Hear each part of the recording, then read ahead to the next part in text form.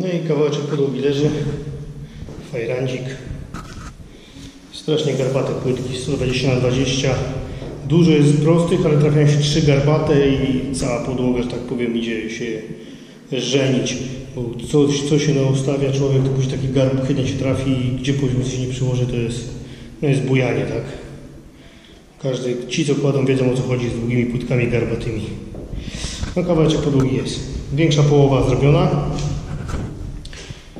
Dokończy się resztę w poniedziałeczek. No i odpływ liniowy mi doszedł. Zalałem, usadziłem.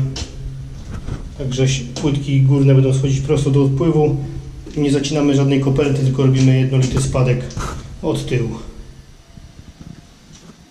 I koniec. Czas się zbierać, jechać, poodpoczywać. Ile, ile można, tyle można robić, ale kiedyś też trzeba poleżeć. Piątuś, piątunio. Na razie.